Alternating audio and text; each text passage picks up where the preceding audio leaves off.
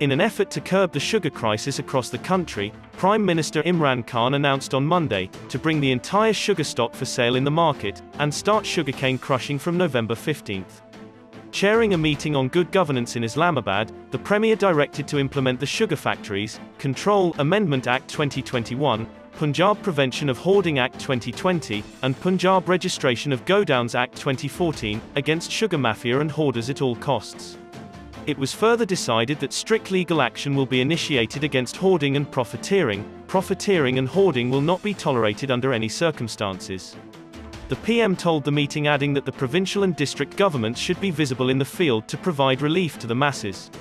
He pointed out that Ehsaas Ration, Kamyab Pakistan, Kisan Card, Sehat Card and other schemes of the Ehsaas program have been launched to provide relief to the poor. This is Pakistan Observer. Visit our YouTube channel for more informative video.